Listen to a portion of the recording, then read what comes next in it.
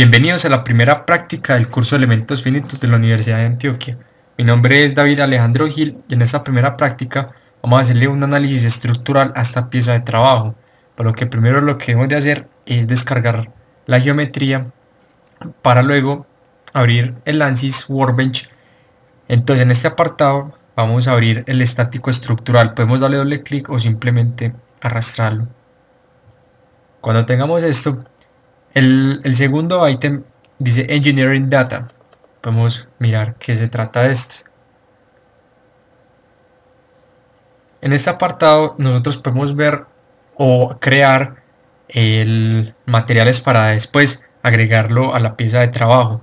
Por defecto trae el acero estructural en el cual podemos ver diferentes características de este acero, como lo son las densidades, si su elasticidad, el módulo de Young, etc.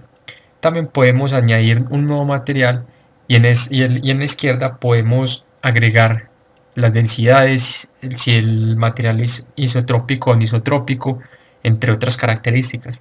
Pero en esta primera práctica vamos a trabajar el acero estructural como por defecto.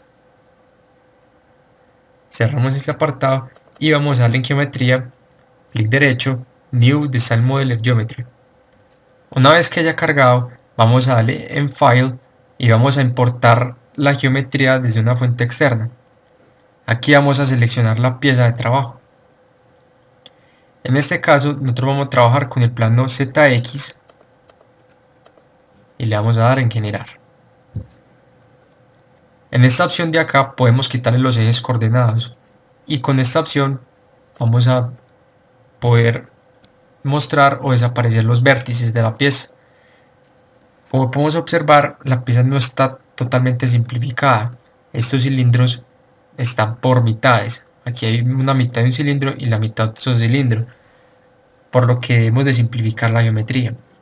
¿Cómo simplificamos la geometría? Le damos en Create, le damos en Body Operation aquí en tipo vamos a darle en simplificar y acá en bodies por defecto obviamente va a traer consigo el selector de filtro por volumen y vamos a seleccionar la geometría. Le damos en generar y como podemos observar la pieza se ha simplificado. Tanto estas agarraderas de acá como los soportes de los extremos. Ya podemos cerrar este apartado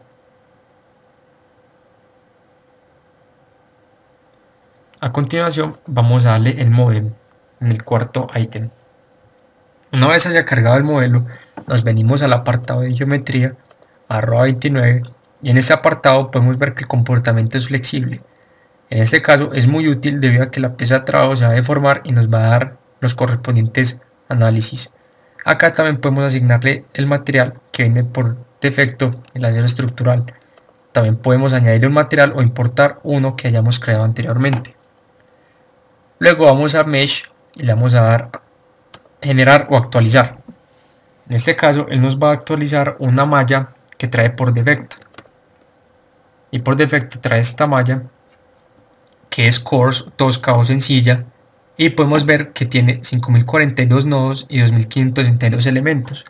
Si nosotros queremos que la malla sea más fina o que disminuya el tamaño de los elementos, vamos a Relevant Center y vamos a cambiar de coarse por medio o fino como se desee. En este caso vamos a trabajar con medio.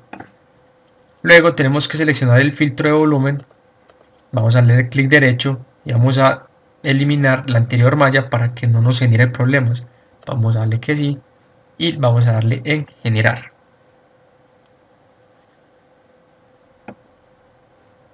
Como podemos observar, el tamaño de los elementos disminuyó, por lo que tenemos 12.518 nodos y 6.768 elementos. Aumentaron estos y por consiguiente la matriz global de rigidez aumenta, por lo cual va a tener mayores ecuaciones y va a tener una mejor confiabilidad.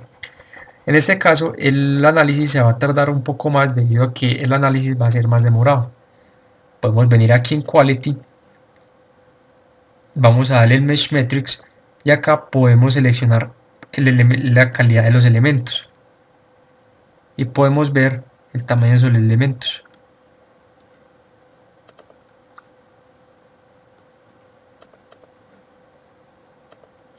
Luego vamos a venir aquí a, a, estático estructural para darle las restricciones.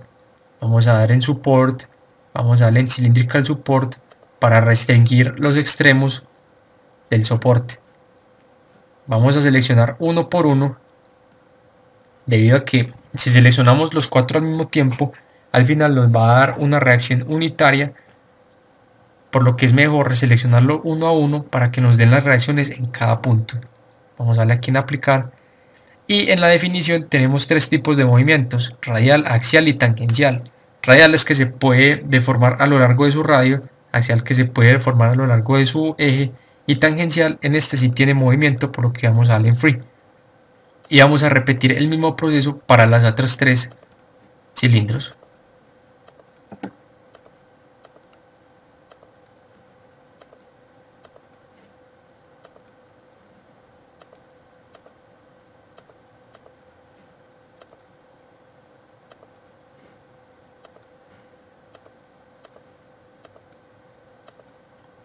Luego de haber restringido estos cuatro cilindros, vamos a generar la carga.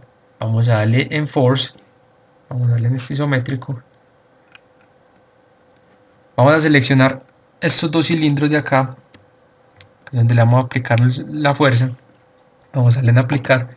No vamos a definirlo por vector, sino por componentes. Tenemos los ejes coordenados X, Y y Z y queremos una fuerza en este sentido. O sea, en los ejes Z y Y. Entonces en Y vamos a darle una fuerza de menos 500 newton. En Z vamos a darle una fuerza de 500 newton. Y podemos ver la fuerza aplicada. Luego vamos a ir en solución. Vamos a darle en deformación total. En los esfuerzos de Volmises. Y vamos a darle resolver. O solve. Esperamos que cargue.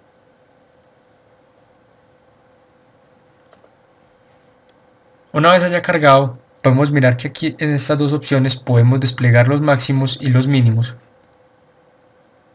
Entonces podemos ver que el máximo sea en este extremo de la pieza y y el mínimo sea en este extremo de la pieza.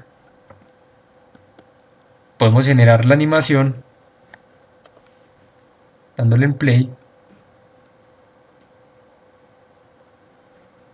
Como podemos ver, la deformación, el esfuerzo máximo es de 6,7 la deformación, la deformación total es de 0,0012373 y en este podemos cambiarle la escala. A una escala mayor o una escala menor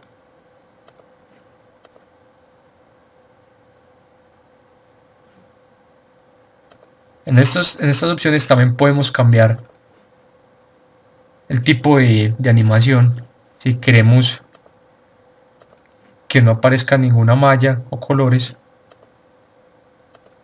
o mostrando los elementos